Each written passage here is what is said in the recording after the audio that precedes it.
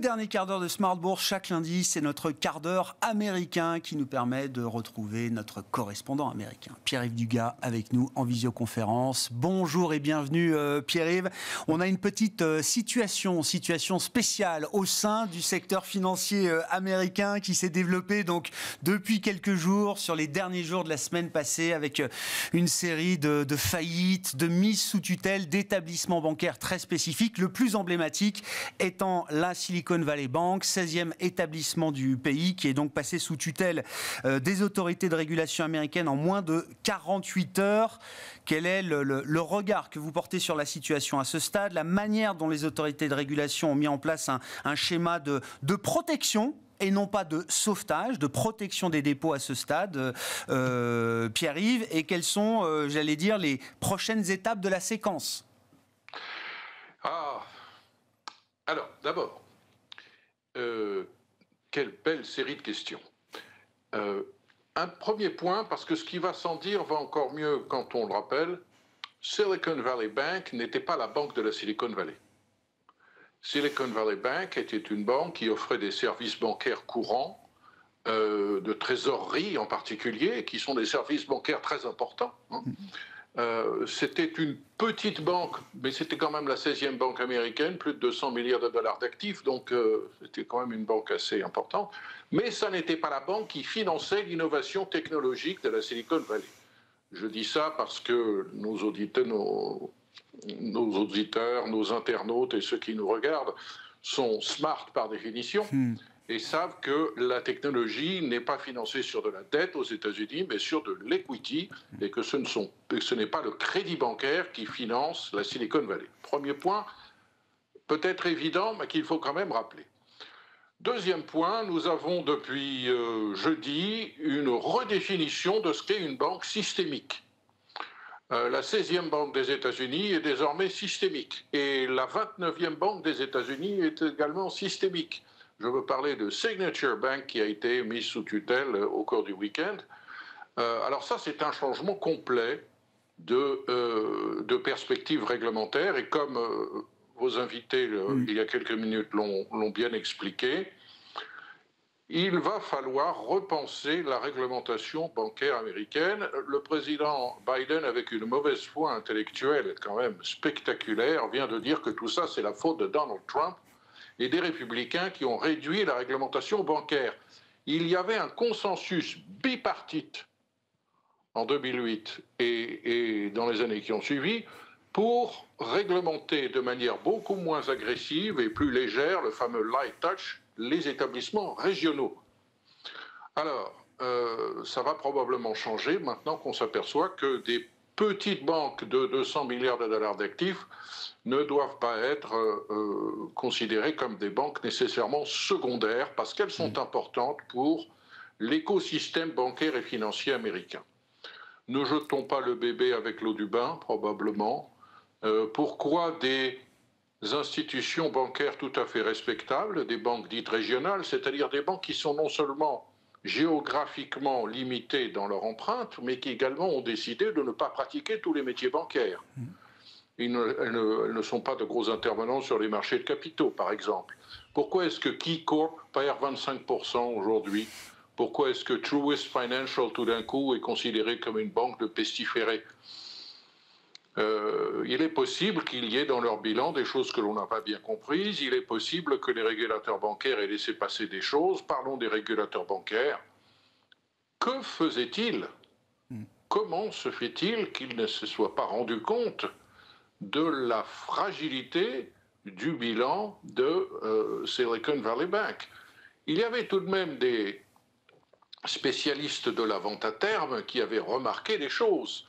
Euh, toutes ces banques qui souffrent le plus aujourd'hui, Silicon Valley Bank, terminé, Signature Bank, terminé, mais euh, First Republic, par exemple, Pacific West, étaient des banques qui ont été identifiées par euh, euh, des fonds spécialistes de la vente à découvert comme des banques fragiles, précisément parce qu'elles dépendaient beaucoup de ressources extrêmement liquides et extrêmement capricieuses, mmh. et qu'elles avaient beaucoup profité de l'explosion des dépôts bancaires, eh qui elle-même était le résultat d'au moins deux choses. Le confinement, d'abord. Les Américains ont tout d'un coup eu beaucoup d'argent que le gouvernement leur a donné, mais ils ont cessé de dépenser.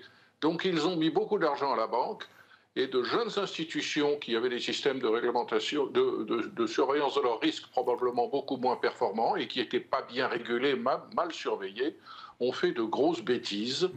Euh, il va falloir repenser tout ça.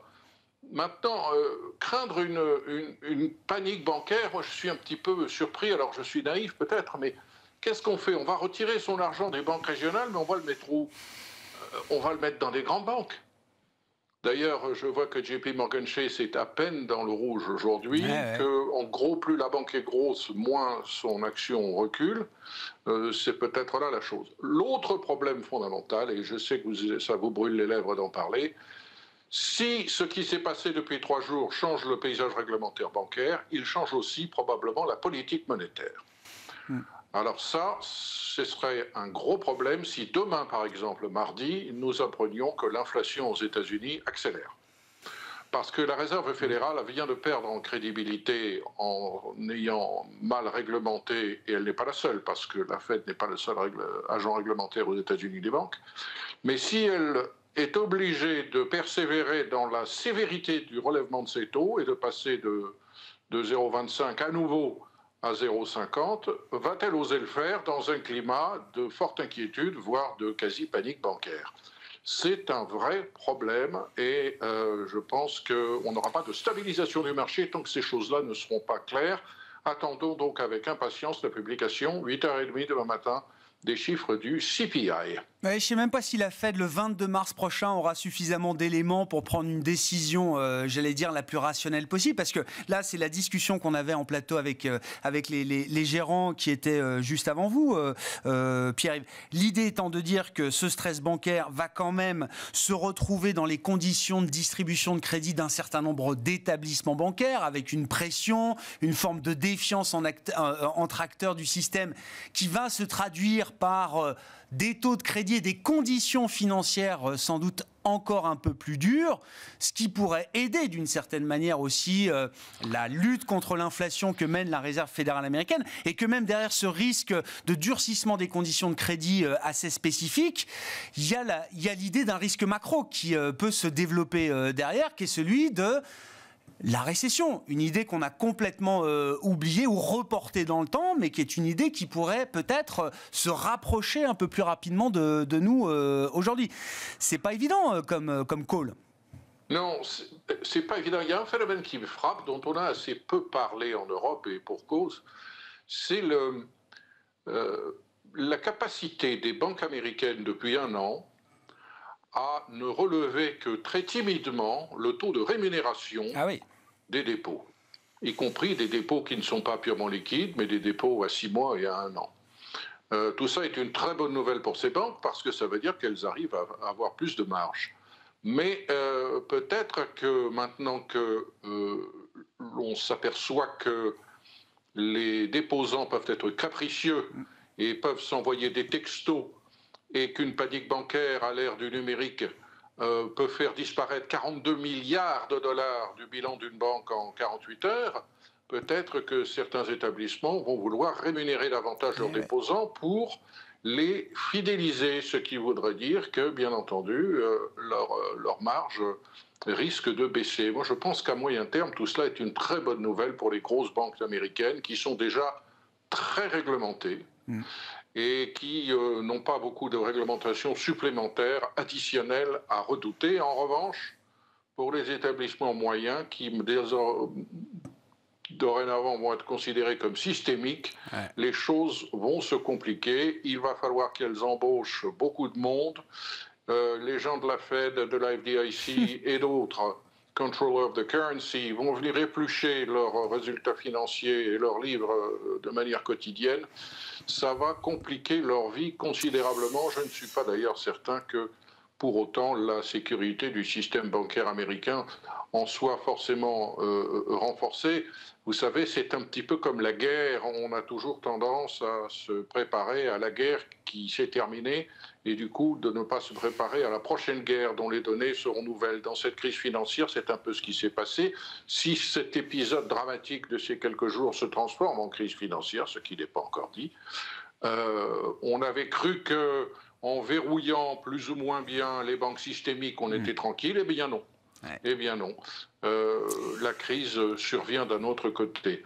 Mais je pense que la Fed a perdu en crédibilité dans cette affaire, même si les mesures qui ont été annoncées à Washington euh, dimanche soir vont clairement dans le bon sens et que les autorités maintenant ont parfaitement compris que le meilleur moyen d'éviter une panique bancaire, c'est de donner des raisons aux déposants pour ne plus avoir peur de laisser leur argent dans ces banques en leur annonçant à l'avance que de toute façon ils allaient être garantis au-delà du plafond de 150 000 dollars de la FDIC et même au-delà de, tout autre plafond si ces dépôts euh, n'étaient pas couverts par la FDIC. On va sauver ainsi des petites entreprises, des start-up de la tech notamment, qui avaient très peur depuis 48 euh, heures mmh. de ne plus pouvoir payer euh, leur personnel et leurs fournisseurs.